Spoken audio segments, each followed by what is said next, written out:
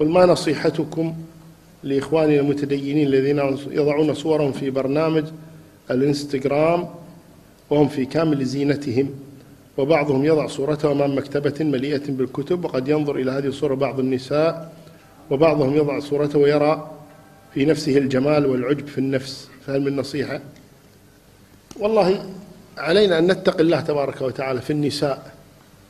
النساء يعني قلوبهن رقيقة. قد تتأثر ترى فيه قد يكون فيه جمال مسحة جمال ويتزين للناس ويضع صورته وهو مبتسم وكذا.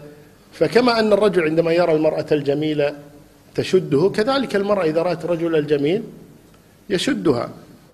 يذكرون أن حبيبة يقولون أنها كانت زوجة لثابت بن قيس بن شماس.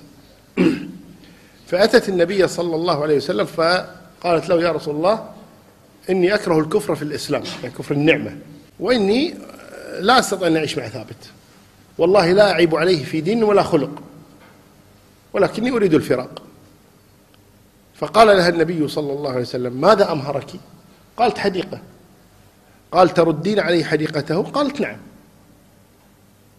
فنادى ثابت بن قيس قال فارقة. خلاص ما تبيك.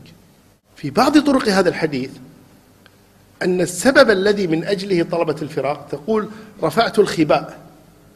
تقول رفعت الخباء فإذا ثابت يمشي معه جماعة.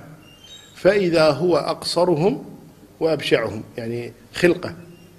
يعني كلهم أحلى منه كلهم أطول منه. تقول فسقط من نفسه. خلاص. لذلك لا يتساهل في مثل هذه الأمور. أن يضع صورته جميل وهو مبتسم وهو كذا.